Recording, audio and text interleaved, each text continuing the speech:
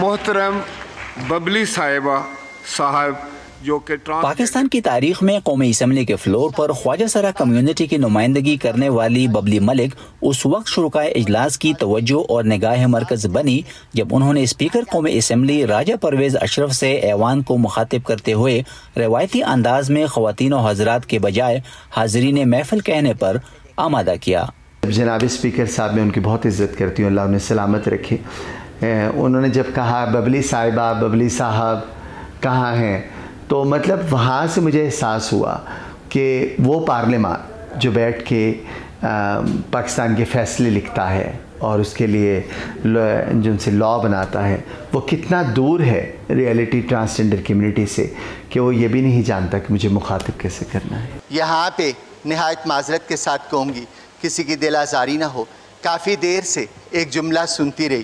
معزز خواتین و حضرات تو ٹھیک ہے ہم معزز خواتین و حضرات کے دائرے سے آپ تھوڑا علیحدہ رکھتے ہیں لیکن اگر معزز حاضرین محفل کہیں تو کیا ہی بات ہے؟ ببلی ملک گزشتہ بیس سال سے معاشرے میں ٹرانسجینڈر کمیونٹی کے حقوق کے لیے آواز بلند کر رہی ہیں۔ ان کا کہنا ہے کہ اس عرصہ میں انہوں نے بہت سارے اتار چڑھاؤ دیکھے ہیں۔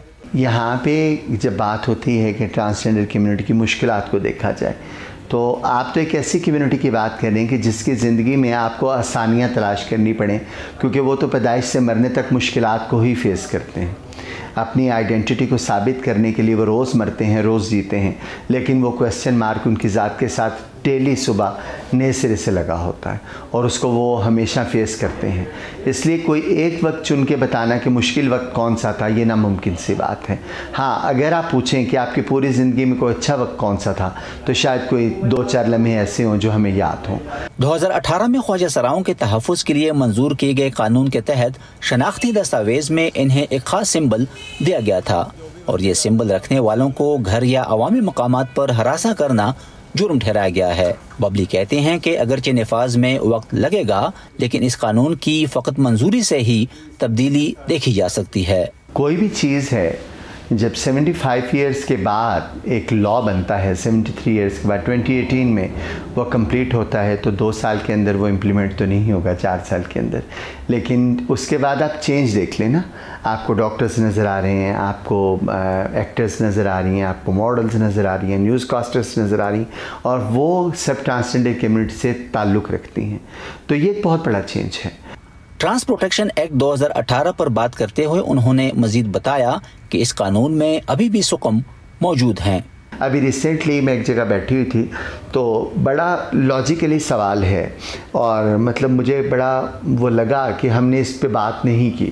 اس نے کہا کہ مرد کا بایاں انگوٹھا لگتا ہے گورنمنٹ کے ڈاکومنٹ پہ، اور عورت کا دایاں انگوٹھا لگتا ہے۔ آپ تو ٹرانسجینڈر پرسن ہیں، آپ کے کارڈ پہ ایکس لکھا ہے۔ تو ویلڈ کون سا تھم ہے امپریشن ہے؟ کیا وہ بایاں ہے کیا وہ دایاں ہے مطلب یہ دیکھیں نا، یہاں پہ آ کے ایک سوال ہے کہ آپ نے ایک جینڈر مارک دے دیا ہے لیکن اس کی گائیڈ لائن میں آپ نے نہیں بتایا کہ اگر آپ گورنمنٹ ڈاکیومنٹ میں جا کے تھم امپریشن دیں گے تو کون سا دیں گے؟ ببلی ملک ٹرانسجینڈر کمیونٹی کی فلاح و بہبود کے لیے وجود نامی ایک ادارہ چلاتی ہیں۔ ان کا کہنا ہے کہ اس ادارے کا مقصد یہی تھا کہ کسی کو یہ نہ بتانا پڑے کہ وہ مرد اور عورت سے مختلف ہیں۔ ببلی کا خواب ہے۔ اپنی پاکستان ٹرانسجینڈر کمیونٹی میں سے کسی ریپریزنٹیٹیو کو پریزیڈنٹ آف پاکستان کی سیٹ پہ دیکھنا۔